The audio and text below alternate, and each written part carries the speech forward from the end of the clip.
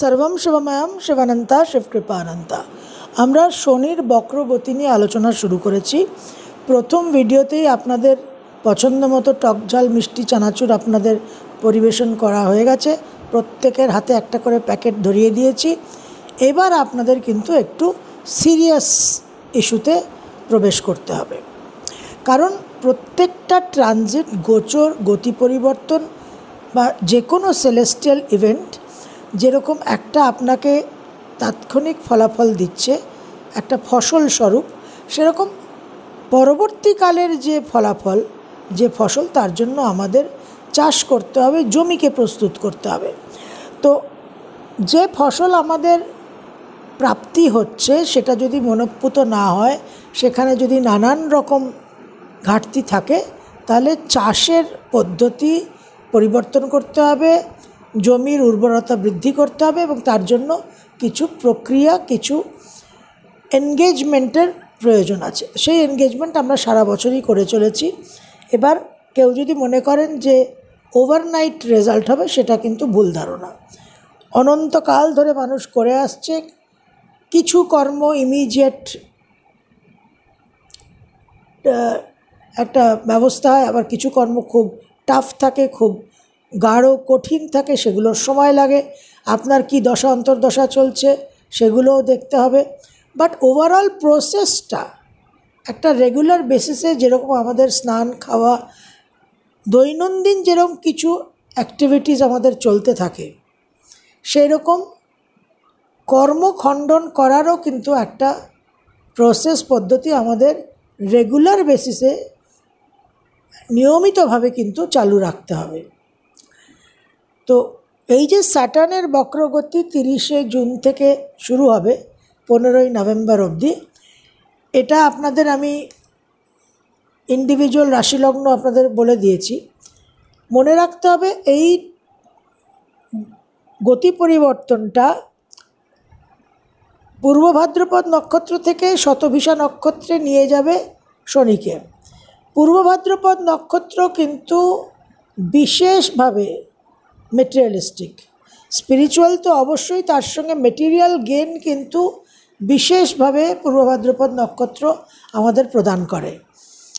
এখানে তিরিশে জুন থেকে সেকেন্ড অক্টোবর তিরিশে জুন থেকে সেকেন্ড অক্টোবর পূর্ব ভাদ্রপদ নক্ষত্রে শনি বক্রগতিতে চলাচল করবে। এই সময় মেটেরিয়ালিস্টিক গেন আমাদের কিন্তু প্রভূত মাত্রায় হতে পারে, তার সঙ্গে আরেকটা জিনিস আমাদের দেখতে হবে, সেটা হচ্ছে বৃহস্পতির অবস্থান। আমি আপনাদের গত ভিডিওতে বলেছি যে রেট্রোগ্রাড বক্রগতিটা একটা বাস্তবের ঘটনা নয় it is not in real time it is in it is a perspective তো সেই জন্য ওই পার্সপেক্টিভের কারণে অন্যান্য পার্সপেক্টিভগুলোকেও খেয়াল রাখতে হবে এবং বিচ্ছিন্নভাবে কোনো কিছু আমরা দেখি না, দেখা হয় না টোটাল এনার্জিটাকেই দেখা হয়। তো বৃহস্পতির যে অগাস্টের কুড়ি তারিখ অবধি রোহিণী নক্ষত্রে অবস্থান, সেই রোহিণী নক্ষত্র কিন্তু প্রচুর মেটেরিয়ালিস্টিক গেনের জায়গা। এবং এই যে মেটেরিয়ালিস্টিক গেন একদিকে বৃহস্পতি প্রদান করবে, একদিকে শনি প্রদান করছে। তো এই মেটেরিয়ালিস্টিক গেনটাই কিন্তু হচ্ছে আমাদের আসল সমস্যার বিষয়। এইখানেই আমাদের একটা যাকে বলে ঘোড়া মরেছে। এখন প্র্যাকটিক্যালি চিন্তা করলে দেখুন কোনো দিন কি আমরা কখনো কোনো দেব, দেবী, কোনো গড গডেস ডেটির কোনো জীর্ণ, শীর্ণ, দরিদ্র, দিনহীন, নিঃসম্বল নিঃস্ব নিস্তেজ চিত্র দেখেছি ইমেজ দেখেছি। আমাদের স্পিরিচুয়াল রিলিজিয়াস আইকনোগ্রাফিতে সব দেবতাদের, দেবদেবীদের একেবারে দারুণ শৃঙ্গার, দারুণ অলঙ্কার। বিষ্ণু শ্রীহরিকে তো অলঙ্কার প্রিয়ই বলা হয়। একমাত্র দেবাদিদেব মহাদেব হচ্ছেন অভিষেক প্রিয় এবং তিনি ত্যাগী। তিনি ধ্যানস্থ হয়ে আছেন। তার, ওনার কোনো কিছুর সঙ্গে কোনো সম্পর্ক নেই। কিন্তু ওনার যে ভক্ত, ওনার যে সাধক, দেবাদিদেব মহাদেবকে যে প্রসন্ন করবে, তুষ্ট করবে, তিনি কিন্তু স্বর্ণলঙ্কার অধিকারী হবেন। তো দেবাদিদেব মহাদেব নিজে ডাইরেক্টলি কোনো ধন সম্পদের সঙ্গে, আড়ম্বরের সঙ্গে যুক্ত না থাকলেও ওনার ভক্তরা কিন্তু মহাধনী। তো এই স্পিরিচুয়াল রিলিজিয়াস আইকনোগ্রাফিতেও কোনো রকম কোনো চার্চ মাউস ইমেজ দেখবেন না। ধন, কুবের, মহালক্ষ্মী, এরাই তো আমাদের প্রাইমারি ওয়েলথ ডেটিস এবং দেবী তত্ত্বর পরমেশ্বরীর যে তিনটে রূপ, মহাকালী, মহাসরস্বতী, মহালক্ষ্মী মহালক্ষ্মী তো ক্রিয়েশনের আদি শক্তি যা কিছু বিশ্বব্রহ্মাণ্ডে আমরা দেখছি, সবই তো মহালক্ষ্মীর ক্রিয়েশন তো সেখানে কোনোভাবেই কিন্তু আমরা এই ধন সম্পদ, এই যে কনজামশন ভোগের যে জায়গা, সেখানে কিন্তু কোনো নিষেধাজ্ঞা আমরা পাচ্ছি না। দেবী মাহাত্ম মহাচণ্ডী, সেখানে তো বলাই হচ্ছে যে প্রারব্ধকে ওভারকাম করা যাবে। রাজা সুরতার সুরতার বৈশ্য সমাধি সব কিছু খুইয়ে তো জঙ্গলে জঙ্গলে ঘুরে মেধামণির আশ্রমে গিয়ে দেবী মাহাত্ম, দুর্গা সপ্তশতী চণ্ডী পাঠ করেই সব কিছু ফিরে পেলেন। এবং তাতেই অর্গলা স্তোত্রতেই রূপং দেহি, জয়ং দেহি, যশো দেহি, দিশো বলা হচ্ছে। তো ধন, সম্পদ, ভোগ, রাজত্ব, এগুলোকে অগ্রাহ্য করা হয়নি। সনাতন ধর্মে। সমস্যাটা হচ্ছে আটকে যাওয়া। প্লাগিং আর আনপ্লাগিং যেটা আবার আমরা যদি পার্সপেক্টিভে চলে আসি, তাহলে এখন কিন্তু ওই রোহিণী নক্ষত্র হচ্ছে ওই প্লাগিং আর আনপ্লাগিংয়ের আফত কাজার।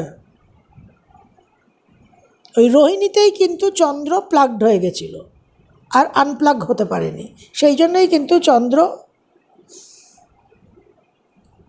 আমি চাঁদ নই অভিশাপ। তো এই যে প্লাগিং আর আনপ্লাগিং এইটাই হচ্ছে স্যাটার্ন আর মুনের খেলা। চন্দ্র ভোগী, শনি হচ্ছে যোগী আর ত্যাগী। তো যোগী আর ত্যাগী মানে কি? আর ভোগী মানেই বা কি? এটা আমাদের বুঝতে হবে। উই হ্যাভ টু আন্ডারস্ট্যান্ড কিছু বেসিক মৌলিক জিনিসগুলো না বুঝলে নিজেদের জীবনকে আমরা পরিবর্তন করতে পারব না। যে পরিবর্তন শনি আমাদের সর্বদা করাবার চেষ্টা করছেন। এবং শনির যে বলয় দ্য রিংস অফ স্যাটার্ন এই রিংস অফ স্যাটার্নের অর্থটা কি?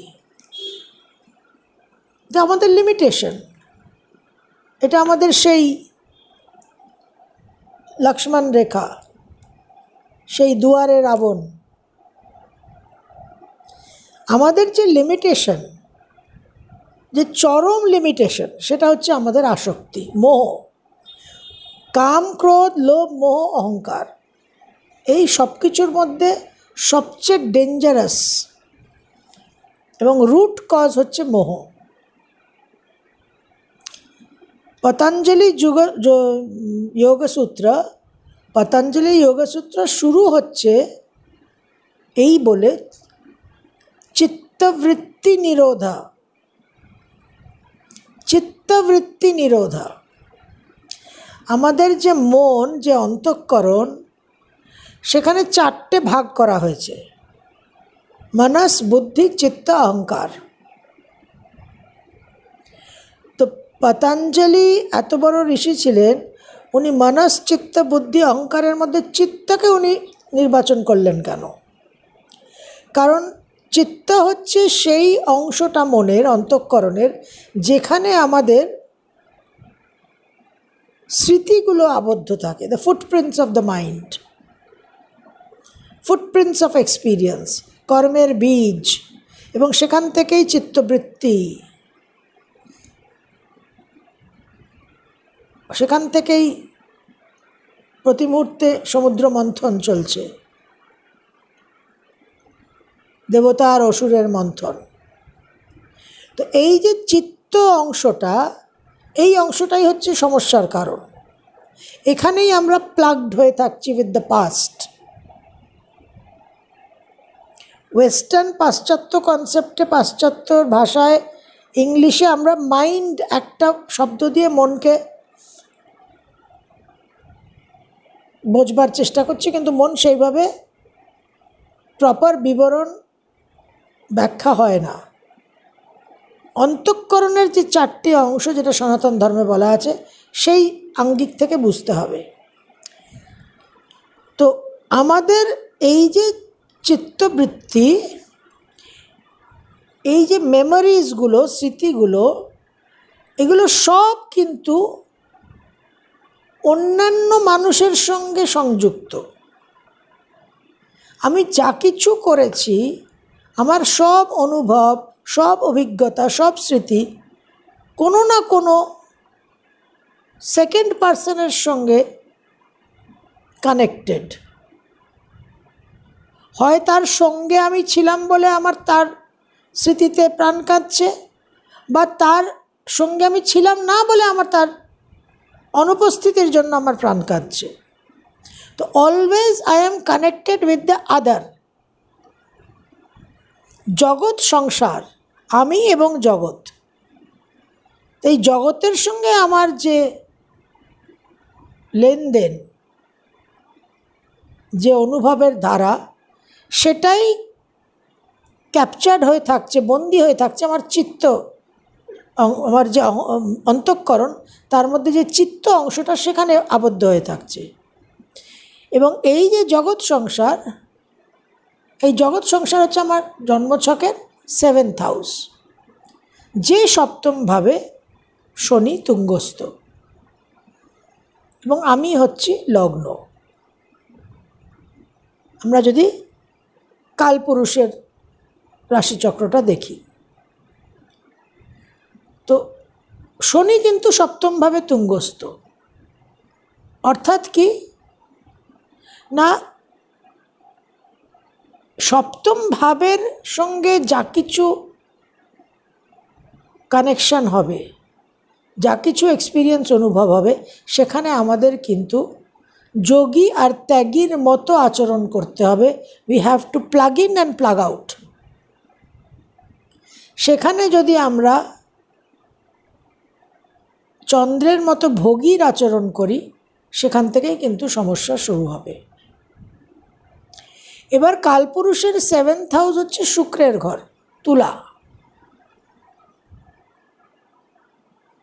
তুলার প্রতীকটা কি? একটা স্কেল ব্যালেন্স দাড়িপাল্লা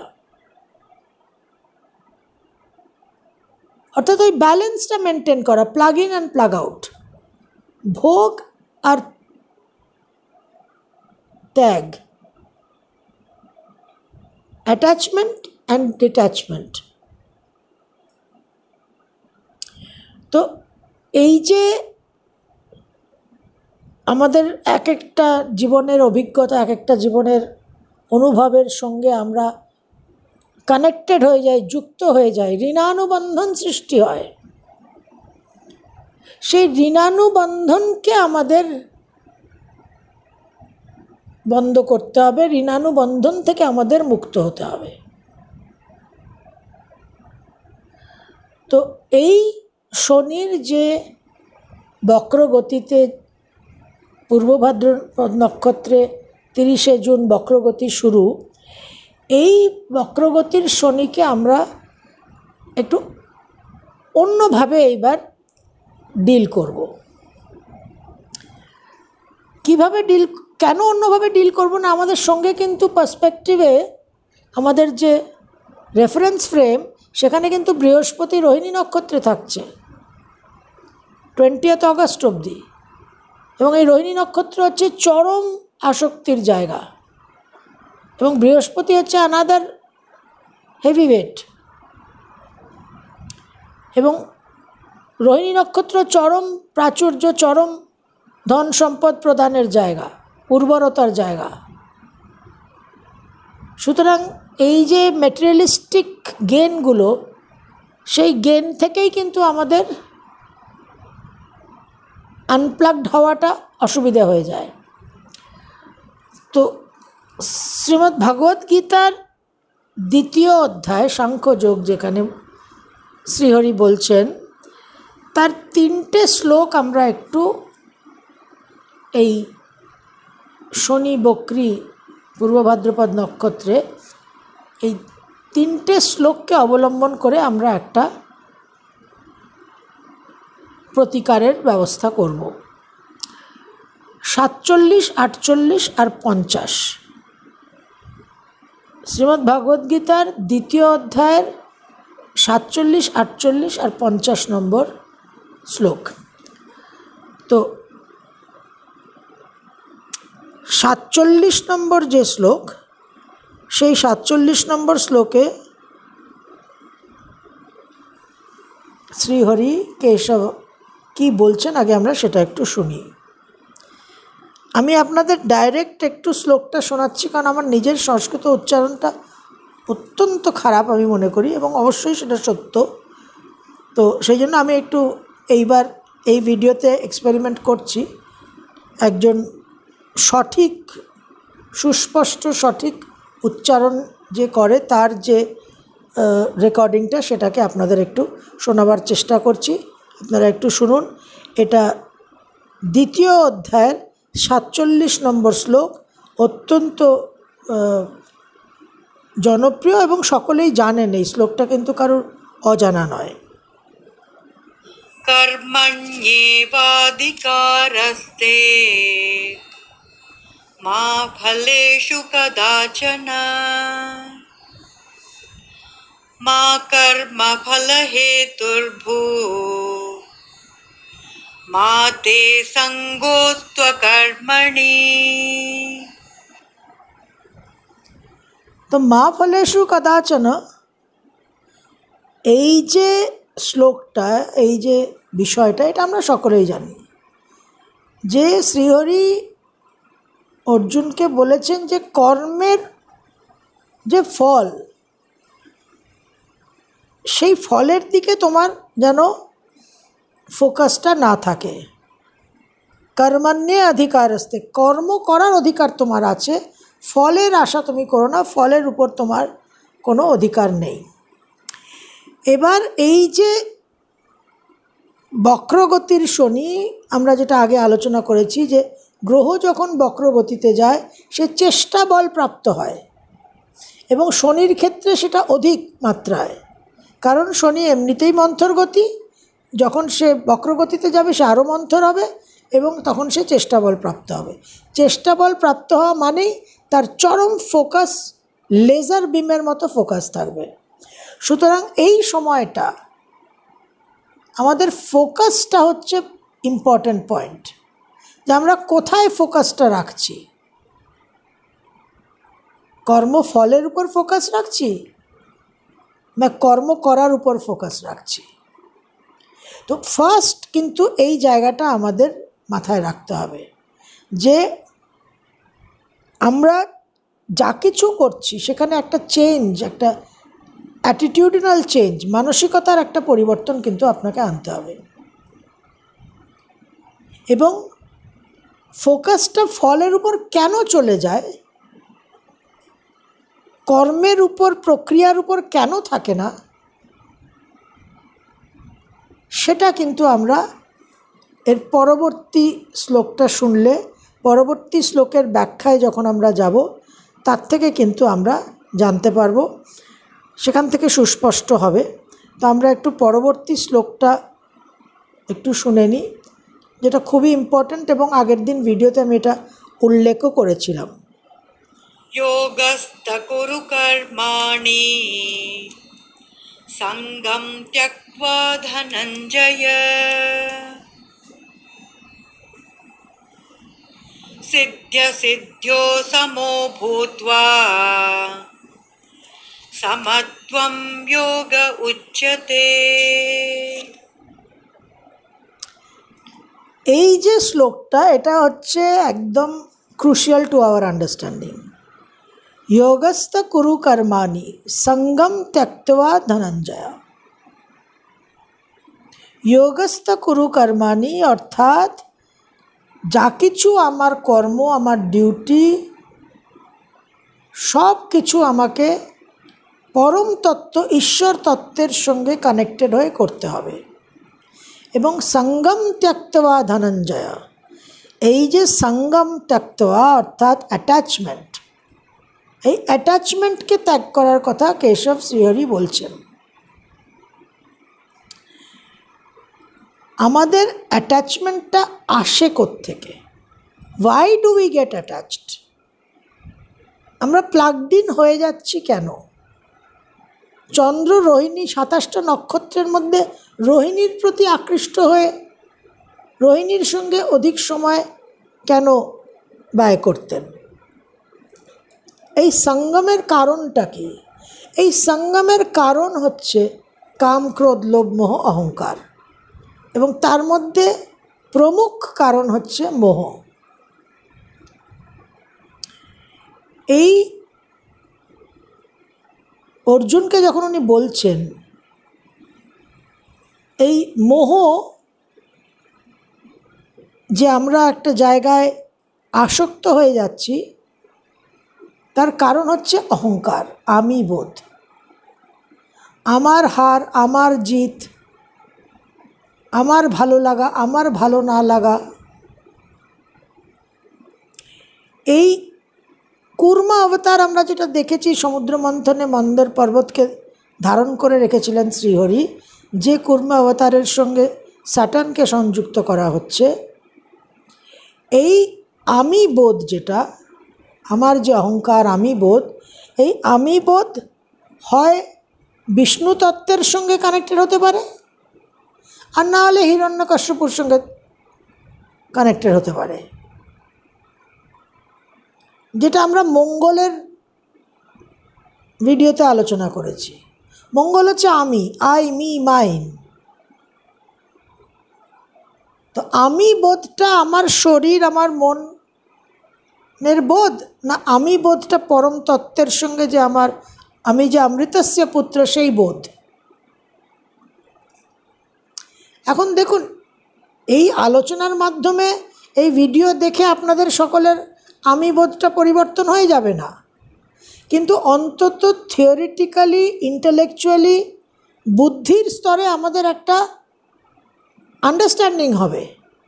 এবং যখনই আমরা এই বডি মাইন্ড কনসিয়াসনেসের অপারেশনের কারণে ভুল করব, অনুচিত কাজ করব, কামক্রোধ, লোভমোহ, অহংকার অ্যাক্টিভ হবে, তখনই আমাদের একটা ওয়ার্নিং বেল বাজবে।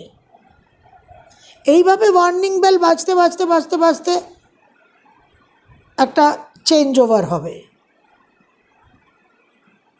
অনন্ত কোটি জন্মর যে conditioning two hundred million years of conditioning সেখান থেকে যে ডিএনএ কমান্ডগুলো তৈরি হয়েছে, সেটা তো একদিনে তারাসেনের একটি ভিডিও শুনে আপনাদের পরিবর্তন হবে না?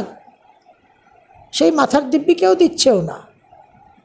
কিন্তু you have to start you to make a beginning এবং কন্টিনিউ তো এই কাম ক্রোধ লোভমোহ, অহংকারের কারণে আমরা আটকে যাই। যে কারণে সমস্ত রামকাহিনী বলার পর, শ্রীহরি কেশবের সব সারমান শেষ হওয়ার পর, যখন অর্জুনের বোধোদয় হলো, তখন অর্জুন কি বললেন? নষ্ট মোহ, যে আমার মোহ দূর হয়েছে। এই মোহ কোথায় থাকে? না চিত্তর অংশতে অন্তঃকরণের চিত্ততে। যে চিত্তবৃত্তি নিরোধ দিয়ে পতঞ্জলি যোগসূত্র শুরু করেছিলেন। তো এই যে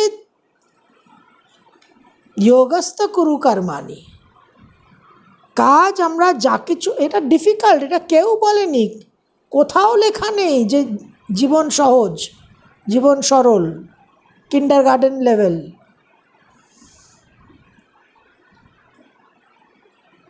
সব সময় বলা হচ্ছে যে অত্যন্ত কঠিন, এটা দুঃখের সংসার। দুঃখম দুঃখম সর্বম দুঃখম শূন্যম শূন্যম সর্বম শূন্যম। যে কত কঠিন, কত যন্ত্রণার, কত পীড়ার, সে তো স্বয়ং বুদ্ধদেব বলে গেছেন। তো এই কানেক্টেড আর ডিসকানেক্টেড হওয়া। এই জায়গাটা কিন্তু সবচেয়ে গুরুত্বপূর্ণ। এই ডিসকানেকশনটা আমাদের এই ফেজে আরও কঠিন হবে, কারণ রোহিণী নক্ষত্রতে বৃহস্পতি আমাদের আরও কানেক্ট করবে। এবার পঞ্চাশ নম্বর শ্লোকটা আমরা একটু শুনব, যেটা তৃতীয় এবং ফাইনাল শ্লোক, যেখান থেকে আমরা এই যে কর্মযোগী হওয়া সঠিকভাবে কর্ম করা এই যোগস্থ কুরুকর্মানি কর্মযোগী হওয়ার জন্য যে জ্ঞানটা সেটা শ্রীহরি কেশব দিচ্ছেন সেই শ্লোকটা আমরা একটু শুনে নিই বুদ্ধিযুক্ত যাহাতিহ উভে সুকৃত দুষ্কৃতে तस्माद्योगाय युज्यस्व योगकर्मसु कौशलम् এই যে ফলাফলের বিষয়টা এই জায়গাটা হচ্ছে বিশেষ গুরুত্বপূর্ণ এখানে সুকৃত দুষ্কৃতে এই যে শব্দটা যে good and bad success and failure success R failure দুটোই কিন্তু আমার অহংকারকে ফিড করে। এবং এই সাকসেস অ্যান্ড ফেলিয়ার এই আউটকাম অফ দ্য ওয়ার্ক চিন্তা না করে, যদি আমি শুধু কর্মটা করি, তাহলেই কিন্তু আমার সেটা কারেক্ট যে মেথড সেটা কিন্তু আমি ফলো করব। তো এই কারেক্ট এই কর্মসু কৌশলম the art of working skillfully, the correct কর্মযোগী হওয়ার জন্য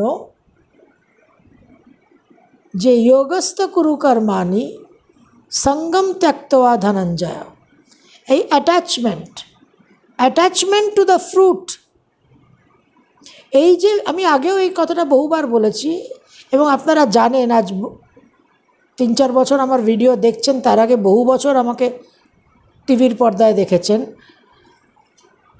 আমি যখন ভিডিও করি বা প্রোগ্রাম করি, আমি কিন্তু কটা ভিউ হবে, কটা লাইক হবে, কটা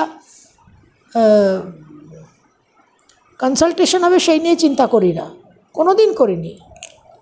এটা আমি with all honesty at my command বলতে পারি।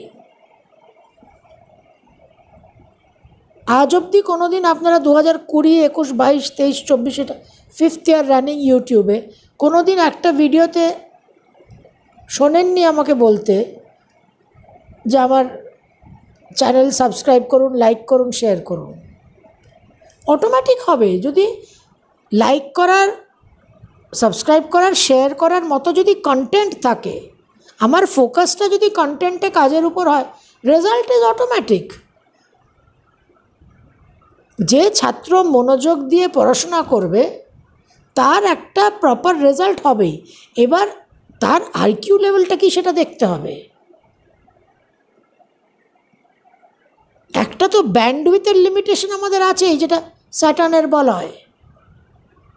প্রত্যেকটা মানুষ তার ব্যান্ডউইথ লিমিটেশন নিয়েই জন্মায়। সকলে তো প্রতিভা জিনিয়াস নিয়ে জন্মায় না।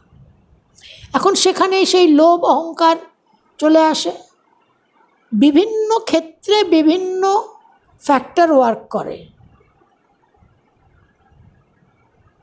তো আমাদের যে অ্যাটাচমেন্টটা হয়ে যায়, সেটা এই কামক্রোধ লোভমোহ অহংকারের জন্য।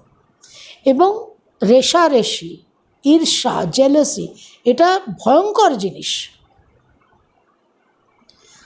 জীবনে চলার পথে আউটসাইডার কেন? আপনার পরিবারের মধ্যে ভাই বোনদের মধ্যে ঘনিষ্ঠ নিকট সম্পর্কের মধ্যে এই ঈর্ষা, এই রেশারেশি থাকবে। কর্মক্ষেত্রে গেলে তো আপনার প্রফেশনাল জেলাসি থাকবেই। এটা একটা বিশেষ বিষয় যেটাকে আমাদের ওভারকাম করতে হবে। কীভাবে ওভারকাম করতে হবে না? শেয়ারলি বাই ইগনোরিং কিন্তু আমরা ইগনোর করতে পারি না। কেন? কারণ সেটা অহংকারকে হিট করে। একটা খুব কমন বিষয় যে আমি সংসারে এত করলাম, আমার কোনো নাম হলো না।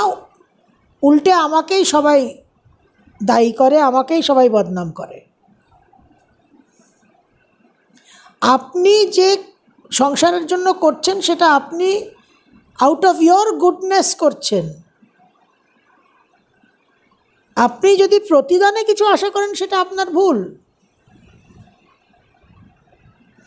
আপনি কারুর চরম উপকার করেছেন, কারুকে, কাউকে আপনি একটা মৃত্যুসম যন্ত্রণা পরিস্থিতি থেকে উদ্ধার করেছেন, তার মানে এই নয় যে সে আপনার দাস হয়ে থাকবে সারা জীবন।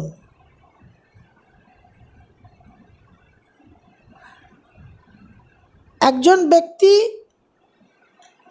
একটা সাপকে দেখল, সে আগুনের মধ্যে পড়ে গেছে। তাকে বাঁচাতে গিয়ে, তাকে উদ্ধার করতে গিয়ে সাপটাকে ধরে বার করতে গেল। ও মা, সে সাপটাকে ধরে বার করতে সাপ তাকে ছবল মারতে আসে। তখন সে কী করল? তখন সে একটা কম্বল নিয়ে সাপটাকে ধরে আগুন থেকে বার করে ফেলে দিল এবং সাপটা বেঁচে গেল। তো পাশে একজন দাঁড়িয়ে দেখছিল, সে তাকে প্রশ্ন করল যাচ্ছে সাপটাকে সাপ আপনাকে ছবল মারতে গেলে আপনি কেন তাকে আবার রিস্ক নিলেন? কম্বল দিয়ে ধরে উদ্ধার করার, বাঁচাবার?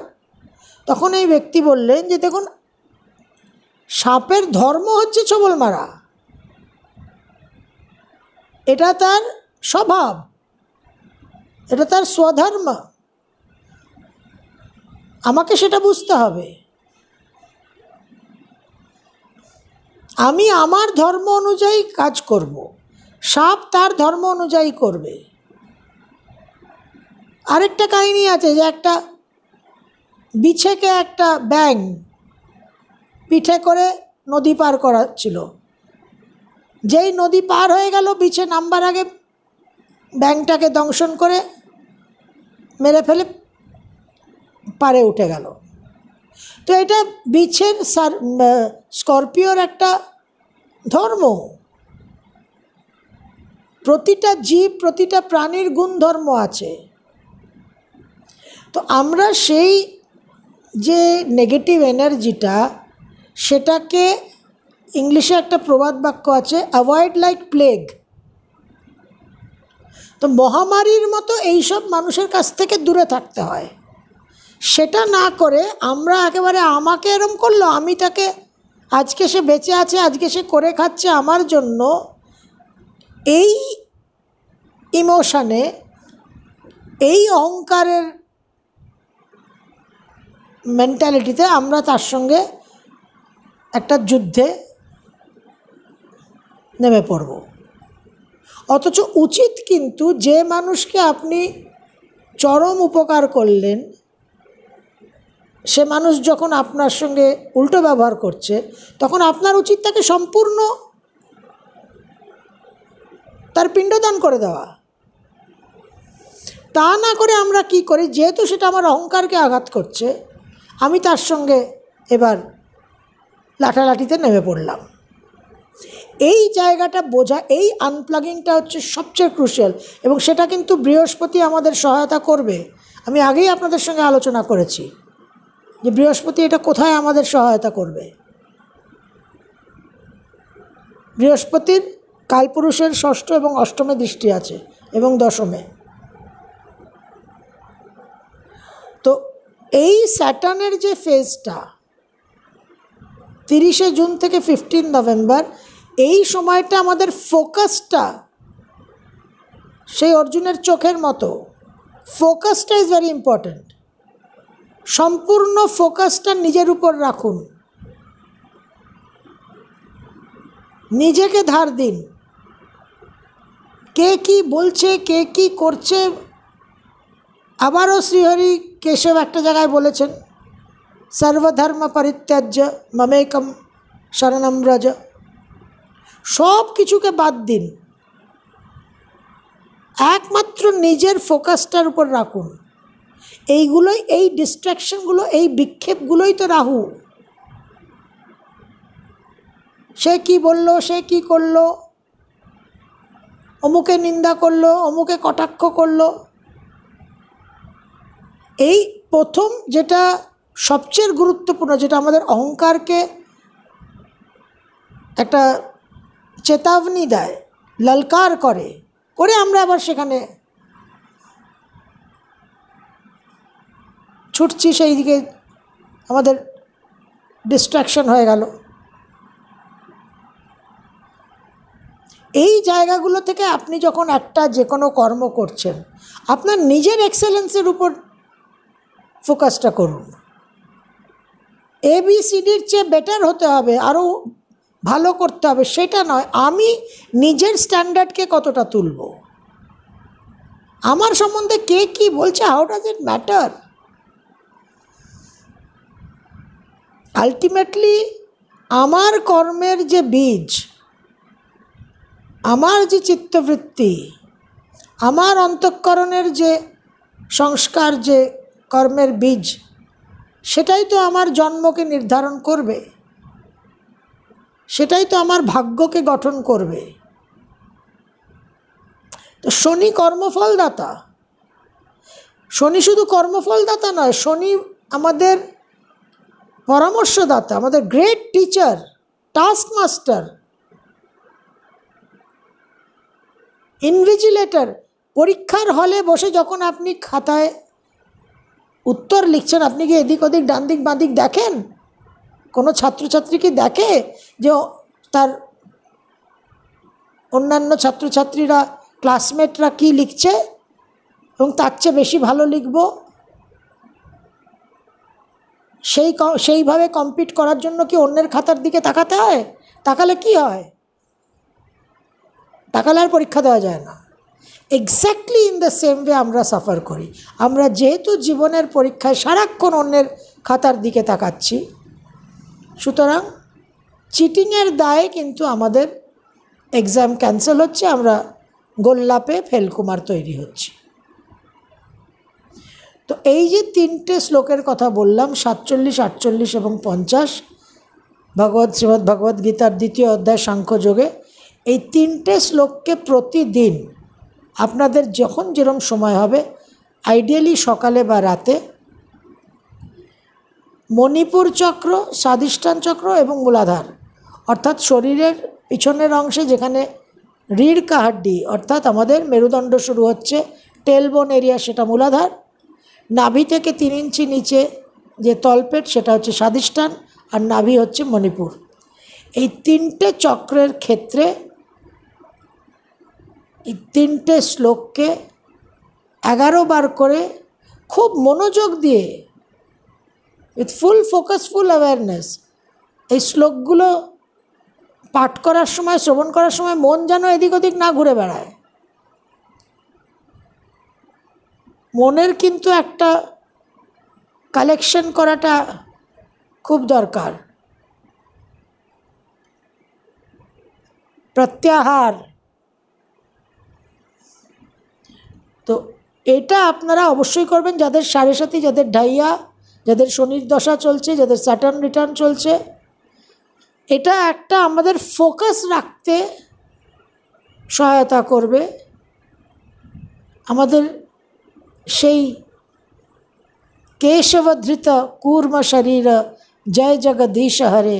সেই কূর্ম অবতার যেরকম আমাদের মন্দর পর্বতকে ধারণ করেছিল, এই তিনটে শ্লোকের মাধ্যমে আমরা পরম তত্ত্ব বিষ্ণু তত্ত্ব শ্রীহরি তত্ত্বকে স্মরণ করে আমরাও একটা ধারণ ক্ষমতা তৈরি করব।